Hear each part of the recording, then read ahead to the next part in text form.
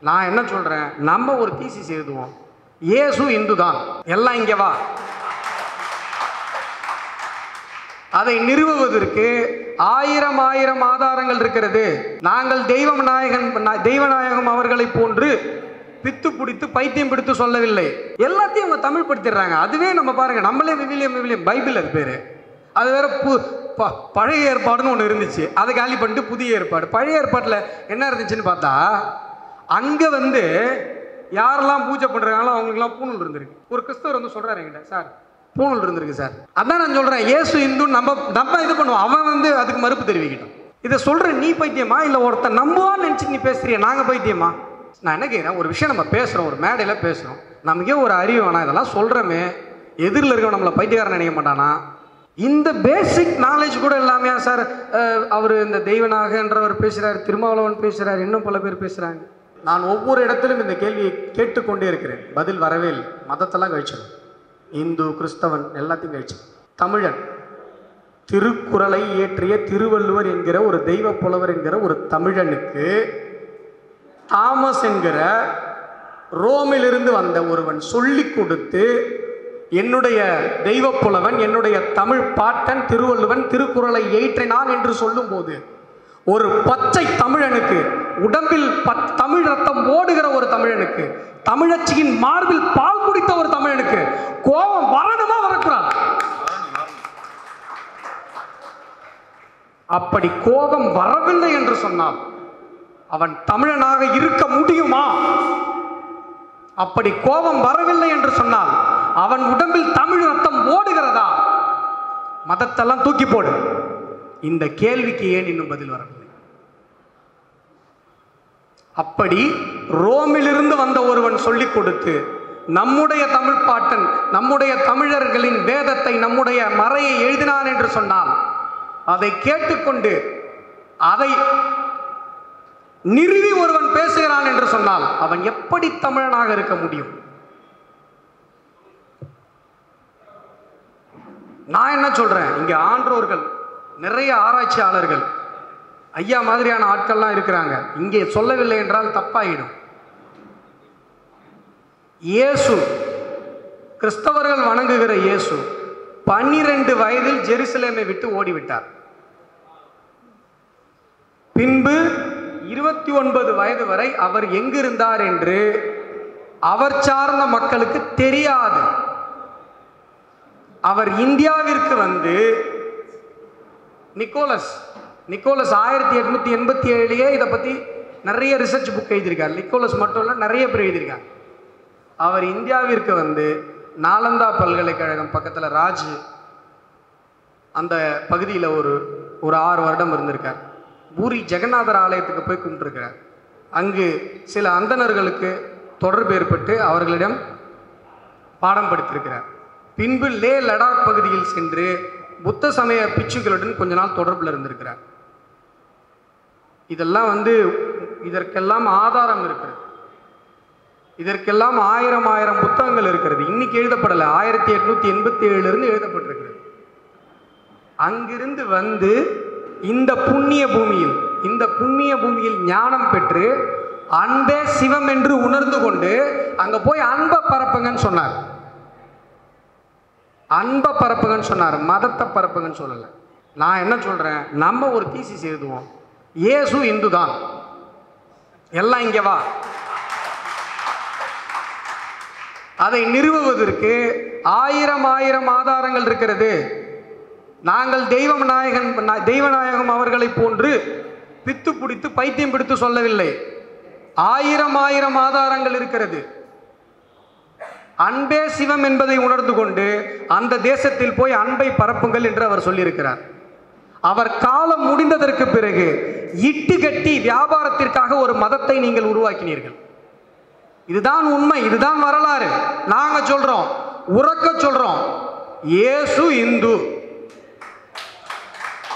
இயேசு இந்து. இயேசு இந்துதான்.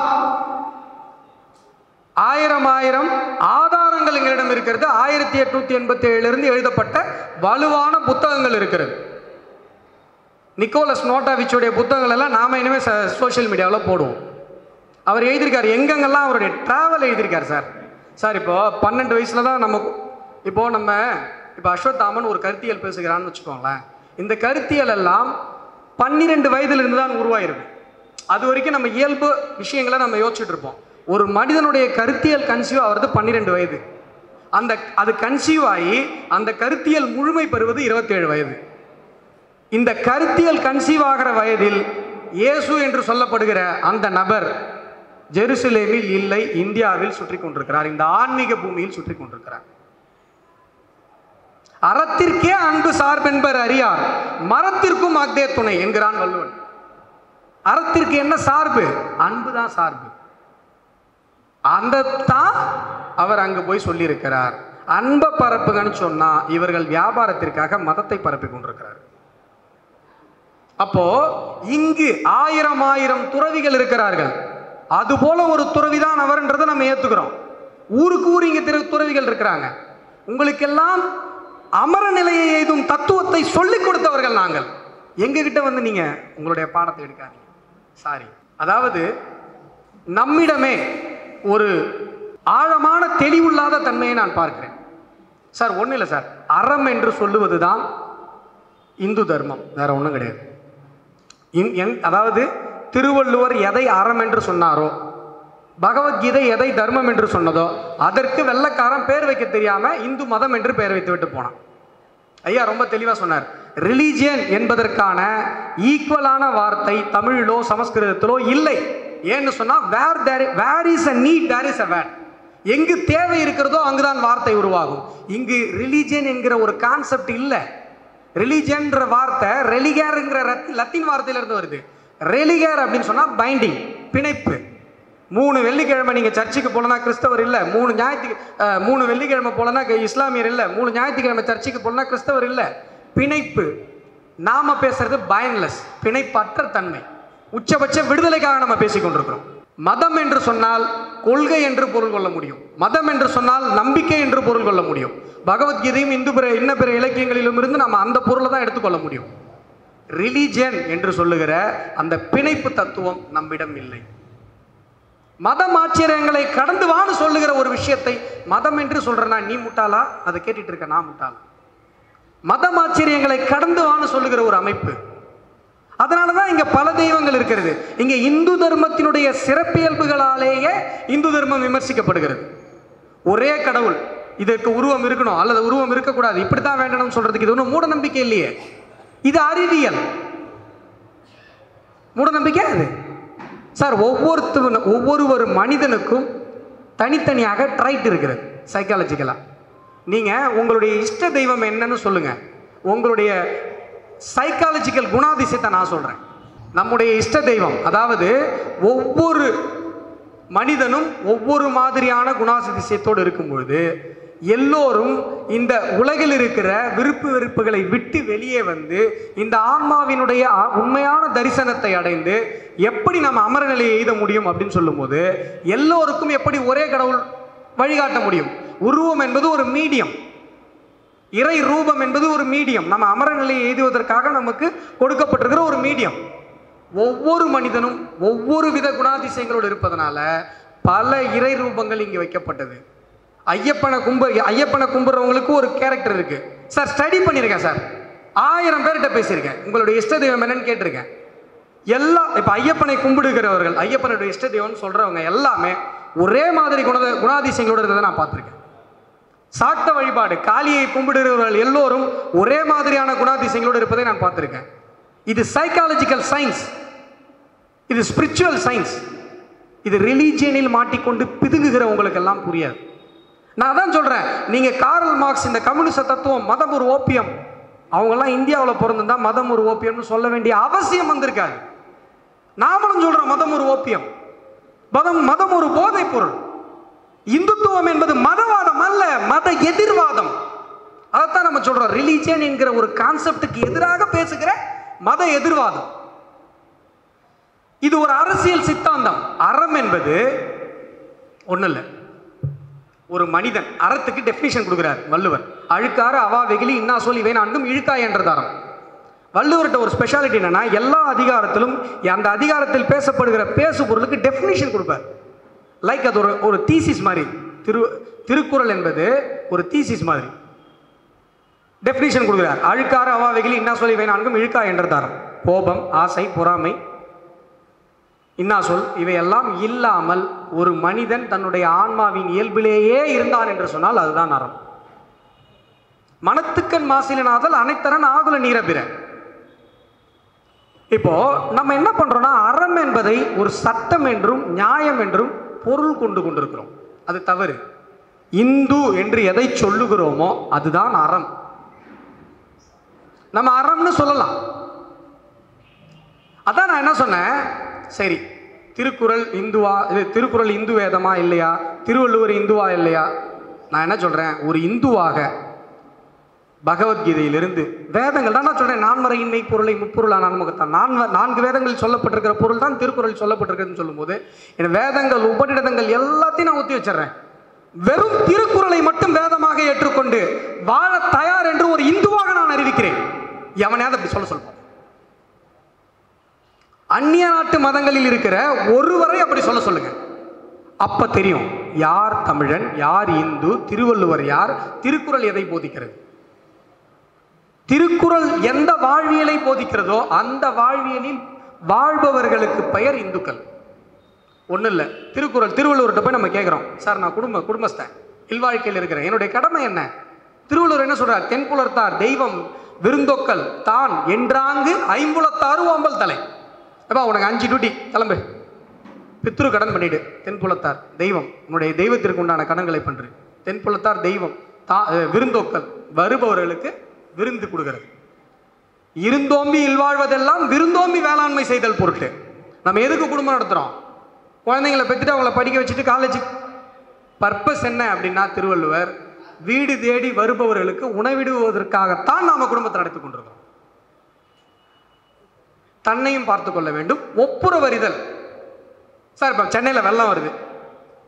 அதாவது அறம் தனியாக எல்லாமே சொல்லிட்டு ஒப்புரவு அறிதல் எதுக்கு சொல்கிறாருன்னா வெள்ளம் வருகிறது. அப்போ அந்த நேரத்திற்கு என்ன தேவையோ அதை நம்ம அந்த செய்யணும் இந்த ஐந்து கடமையை நீ செய்ப்பா.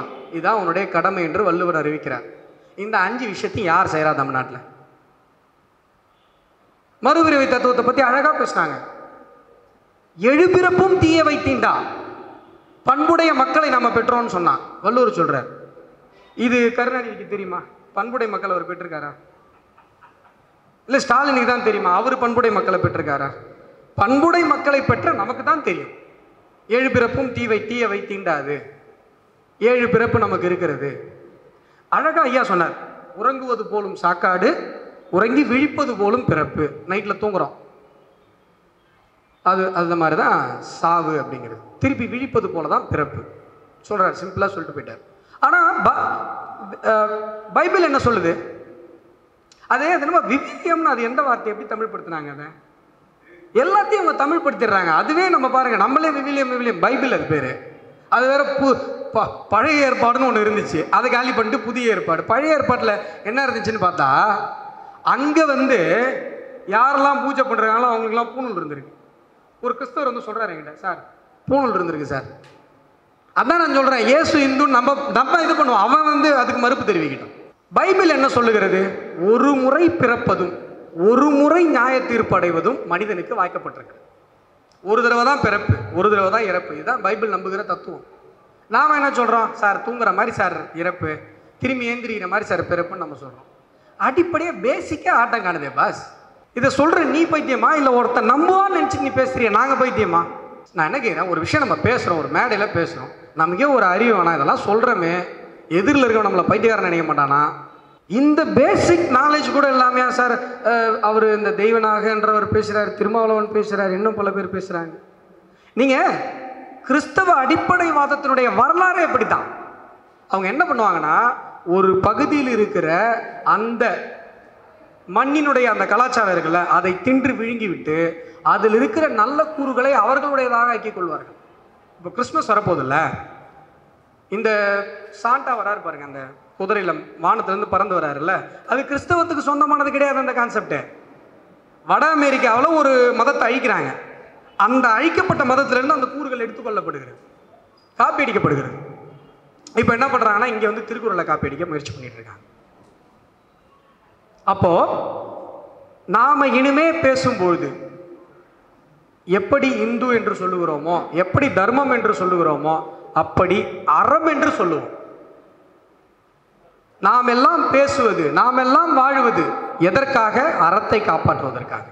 அந்தணர் நூற்கும் அறத்திற்கும் ஆதியாய் நின்றது மன்னவன் செங்கோல் அப்படின்னு சொல்றார் வள்ளுவர். அப்போ இதுல அந்தணர் நூற்பது அறம் என்றாகிறது. அப்ப நூற்கப்படுவது அறம் என்றாகிறது.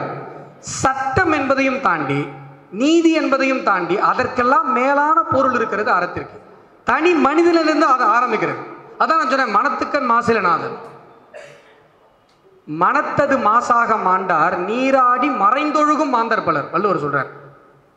அப்போ நீங்க நீராடுவதனாலேயோ இலக்கியங்களை வெறுமனே பேசுவதாலேயோ புண்ணி புண்ணியம் அல்ல மனத்துக்கண் நீங்கள் வந்து சுத்தமாக மாற வேண்டும் அதுதான் அறத்தினுடைய நோக்கம் என்று சொல்லுகிறார். இருமை வகை தெரிந்து அறம் பூண்டார். துற துறவு பூணுகிறத அறம் பூண்டார்னு சொல்றேன் அப்போ அறம் என்பது பூணுகிற ஒரு விஷயமாக பார்க்கப்படுகிறது. அல்லவை தேய அறம் பெருகும் நல்லவை நாடி இனிய சொல்லி நல்லவை நல்லவற்றை யோசித்து நல்லதை செஞ்சா உங்களுக்கு அறம் பெருகும் என்று சொல்லுகிறாங்க. அப்போ அறம் என்பது பெருகுகிற ஒரு விஷயமாக சொல்லப்படுகிறது. சிறப்பீனும் செல்வமும் ஈனும் சிறப்பையும் செல்வத்தையும் ஈணுகிற ஒரு விஷயமாக அறம் பார்க்கப்படுகிறது. எது அறம் அப்படின்னு சொன்னா எது நம்முடைய வாழ்வியல் முறையோ எது நம்முடைய இந்து வாழ்வியல் முறையோ அதுதான் அறம். அப்போ நாம் எல்லாம் அறம் காக்க போராடுபவர்கள். நாம் எல்லாம் தர்மம் காக்க போராடுபவர்கள். அவர்கள் எல்லாம் அதர்மவாதிகள். இவ்வளவுதான். இந்த ஒரு சிந்தனை தெளிவு நமக்கு முதல்ல ஏற்பட வேண்டும். ஏன்னு சொன்னா இந்த சில வார்த்தைகளை அவர்களே காயின் செஞ்சு நம்மளை பயன்படுத்த வைக்கிறாங்க. அது அவர்களுக்கு கிடைத்திருக்கிற ஒரு வெற்றி. இந்த இந்த ஊரில் இருக்கிற அத்துணை அரசியல் கட்சிகளும் வெளிநாட்டு சித்தாந்தங்களுக்காக போராடும் பொழுது இங்கு இருக்கிற அத்துணை அரசியல் கட்சிகளும் நம்முடைய அறிவுசார் சொத்துக்களை திருடுவதற்கு போராடும் போது இந்த மண்ணினுடைய சொந்த சித்தாந்தத்தை இந்த மண்ணினுடைய சொந்த பாரம்பரியத்தை காப்பதற்காக போராடுபவர்கள் நாம் மட்டும்தான் என்கிற கர்வம் நமக்கு இருக்க வேண்டும். இன்னைக்கு சொத்து எது பெரிய சொத்து? பணம் பிட்காயின் நகை இது எல்லாத்தையும் தாண்டி ஒரு மிகப்பெரிய சொத்து இருக்கிறது. அறிவுசார் சொத்து இன்டலெக்சுவல் ப்ராப்பர்ட்டி ரைட்ஸ் நீங்கள் ஒரே ஒரு இன்டலெக்சுவல் ப்ராப்பர்ட்டி ரைட்ஸ் ஒரே ஒரு இன்வென்ஷனை கண்டுபிடிச்சதுக்கு ராயல்ட்டி வாங்கினீங்கன்னா வாழ்க்கை பூரா அவங்களுக்கு காசு. ஒன்றும் இல்லை மஞ்சளுக்கும் வேப்பிலைக்கும் அமெரிக்காக்காரன் பேட்டன் வாங்கினான். நம்மாழ்வார் என்கிற தாத்தா இந்துவாக இருந்த தாத்தா அமெரிக்கா வரைக்கும் போய் அதை பேட்டனை போராடி வாங்கிட்டு வாங்க வாங்கிட்டு வந்தார். அவர் ஒருவேளை கிறிஸ்தவராகவோ இஸ்லாமியராகவோ மதமாக இருந்தார் என்று சொன்னால் அந்த பேட்டனை அவர் காப்பாற்றிய போராடி இருக்க மாட்டார். இவ்வளோதான் விஷயம். அடுக்கி வைத்து கட்டுகிற கட்டுமான முறை. இப்போ நம்ம வந்து பேஸ்மெண்ட்டில் ஸ்ட்ராங்காக போடுவோம். மேலே மேலே மேலே வெயிட்டை கம்மி பண்ணிட்டே போவோம். ஆனால் தஞ்சாவூர் பெரிய கோயில் அப்படி இல்லை. கடக்காலில் வெயிட்டை போடாமல் மேலே டூமில் வெயிட்டை போடுறாங்க. அடுக்கி வைத்து கட்டு க- கட்டப்படுகிற கட்டுமான முறை மேலே வந்து வெயிட்டை ஏற்றுற ஒரு டெக்னாலஜி இந்த டெக்னாலஜி உலகத்தில் எங்கேயுமே கிடையாது. எத்தனை பெரிய பூகம்பம் வந்தாலும் சுனாமி வந்தாலும் கூட அந்த கட்டுமான முறையை ஒன்றும் செய்ய முடியாது. இன்னைக்கு துபாயில் அதே நம்முடைய முறையை கட் பயன்படுத்தி ஒரு கட்டிடத்தை எழுப்பியிருக்கிறார்கள். நாளைக்கு நாம் அனைவரும் கிறிஸ்தவராகவோ இஸ்லாமியராகவோ மாற்றப்பட்ட பிறகு இந்த கட்டுமான முறைக்கு அவன் பேட்டன் வாங்கிட்டு போவான். நான் உங்ககிட்ட வந்து எல்ஐசி பக்கத்தில் உங்கள் தாத்தாவுக்கு ஒரு சொத்து இருக்குது சார். யாருமே இது வரைக்கும் என்க்ரோச் பண்ணலை. உங்கள் பேரில் தான் டாக்குமெண்ட் இருக்குது வாங்கிக்கோங்கன்னு நான் சொல்கிறேன் எடுத்துக்கோங்கன்னு நான் சொல்கிறேன் ஐயா அதெல்லாம் எனக்கு வேணாம் அப்படின்னு சொல்கிறீங்கன்னு வைங்களேன். அப்படி நம்ம சொல்கிறோன்னு வைங்களேன். நம்மளெல்லாம் யாராவது அறிவு இருக்கவங்கன்னு ஒத்துப்பாங்களா? சார் அதை விட மிகப்பெரிய சொத்துக்களை நம்ம விட்டுட்டு இருக்கோம் சார். அறிவுசார் சொத்துக்களை. இங்கேருந்து ஒரு ரெண்டு ஓலை சமஸ்கிருத ஓலை. ரெண்டு ரெண்டே ரெண்டு ஓலைச்சுவடி எடுத்துட்டு ஜப்பானில் ஒரு டாக்டர். கிறிஸ்தவ பாதிரியாராக இருந்த ஒரு டாக்டர். மலையில் போய் பண்ணுறார் பாராயணம் பண்ணுறார் அந்த அந்த ஸ்லோகத்தை ரெண்டுத்தையும் பாராயணம் பண்ணுறார் வார கணக்கில் பண்ணுறார் திடீர்னு அவருக்கு சில சக்திகள் வருகிறது. மலையிலேருந்து இறங்கி வரார் ஒரு ஹோட்டலுக்குள்ளே போகிறார் தண்ணி கொடுங்கன்ற இல்லை சுட தண்ணி தான் இருக்குது ரொம்ப சூடாக இருக்குது கை வச்சிடாதீங்க பழுத்தோம் அப்படியே கை வைக்கிறார். அந்த தண்ணி பச்சை பச்சை தண்ணியாக குளுமையாக மாறிடுது.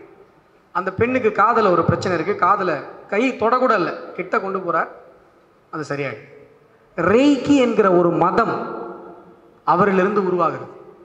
ஜப்பானில். ஜப்பானில் எப்படி புத்த மதம் இருக்கிறதோ அது மாதிரி ரெய்கி இருக்கிறது. எங்கேருந்து உருவாச்சு? நம்மகிட்டேருந்து போன ரெண்டே ரெண்டு ஓலைச்சுவடி ஸ்லோகங்களிலிருந்து உருவானது. ஒன்றும் இல்லை அந்த பேட்டை படத்தில் ரஜினிகாந்த் சிம்ரன் ட்ரீட்மெண்ட் பண்ணுவாங்கல்ல அதுதான் ரெய்கி வேற ஒன்றும் கிடையாது. பாருங்கள் நம்மகிட்டேருந்து ரெண்டே ரெண்டு ஓலைச்சுவடி இவ்வளவு பெரிய மாற்றத்தை ஜப்பானில் உருவாக்கி இருக்கிறது அப்படின்னு சொன்னால் நம்முடைய கலாச்சாரம் நம்முடைய பண்பாடு எவ்வளவு பெரிய சொத்து. அதை நம்ம விட்டு கொடுத்துட்டு இருக்கோம். அதை திருடுவதற்கு சில திருடர்கள் முயற்சி செய்து கொண்டிருக்கிறார்கள். உலகின் மிகப்பெரிய மாஃபியா இந்த உலகம் முழுவதையும் கிறிஸ்தவமாகவும் இஸ்லாமியமாகவும் மாற்ற வேண்டும் என்று இந்த இரண்டு அடிப்படைவாத தத்துவங்களும் நினைக்கிறது. நாம் என்ன சொல்கிறோம் ஏன்னா அவங்களுடைய மத அடிப்படைவாதம் அதை போதிக்கிறது. அப்படி பண்ணாதான் இந்த உலகம் முழுவதும் அவர்கள் மதமாக மாறினாதான் இது வரைக்கும் செத்தவங்களுக்குலாம் ஜட்மெண்ட்டே நாம் நம்புகிறான் நாம் என்ன சொல்கிறோம் கிறிஸ்தவர்கள் கிறிஸ்தவர்களாக தொடரட்டும்.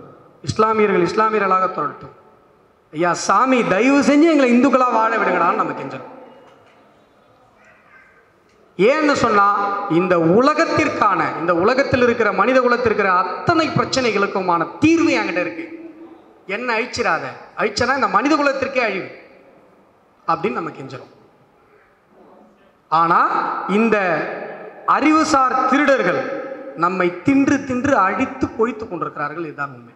அதனால் நண்பர்களே இந்த விஷயம் ஒரு மிகப்பெரிய கடல். நம்ம பேசணும்னு சொன்னால் பேசிக்கிட்டே போகலாம் இந்த நல்லதொரு வாய்ப்பை ஏற்படுத்தி கொடுத்த நமக்கும் நானும் அழைப்பு விடுக்கிறேன் நம்ம கண்டிப்பாக எல்லோரும் மாலை போராட்ட களத்திற்கு வந்து நம்முடைய கடமையை அறம் காக்க நமக்கு இருக்கிற கடமையை செய்வோம். அறத்தை காப்போம். நமது நமக்கு எதிராக நிற்கிற அதம அதர்மவாதிகளுக்கு எதிராக போராடுவோம். ஜெய்ஹிந்த்.